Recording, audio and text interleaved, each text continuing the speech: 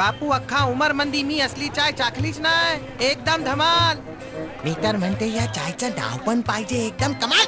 आता जिंका बक्षीस सुचून नवीन नाव. नाहीतर यांचंच नाव खाऊन जाईल भाव.